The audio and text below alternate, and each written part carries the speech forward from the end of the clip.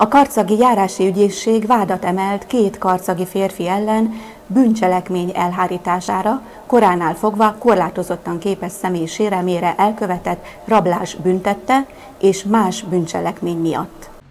A vád szerint a két férfi 2020. augusztus 20-án délután Karcagon a Halom utcában felfigyelt az arra sétáló nehézkesen mozgó 73 éves sértetre. Pillanatok alatt elhatározták, hogy elveszik tőle a vállára akasztott táskáját, ezért mindketten az idős hölgy után szaladtak. Amint egyikük utolérte, hátulról meglökte a sértettet és megpróbálta letépni a karjáról a kiszemelt táskát. Ez nem sikerült neki, mert a sértett erősen marokra fogta a táska füleit. A férfi azonban másodszor már olyan erővel lökte meg a sértettet, hogy egyensúlyát veszve az egyik ház kerítésének dőlt.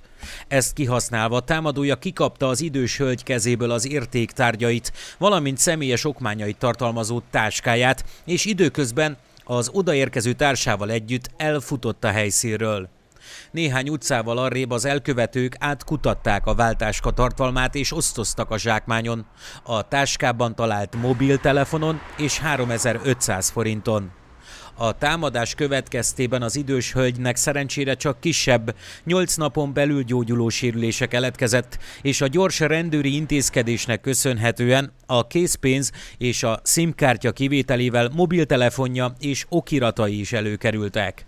A járási ügyészség vádiratában azt indítványozta, hogy a bíróság mindkét vádlottal szemben fegyházban végrehajtandó szabadságvesztés szabjon ki, és határozott időre tiltsa el őket a közügyek gyakorlásától. Az ügyben elsőfokon a karcagi járásbíróság fog dönteni.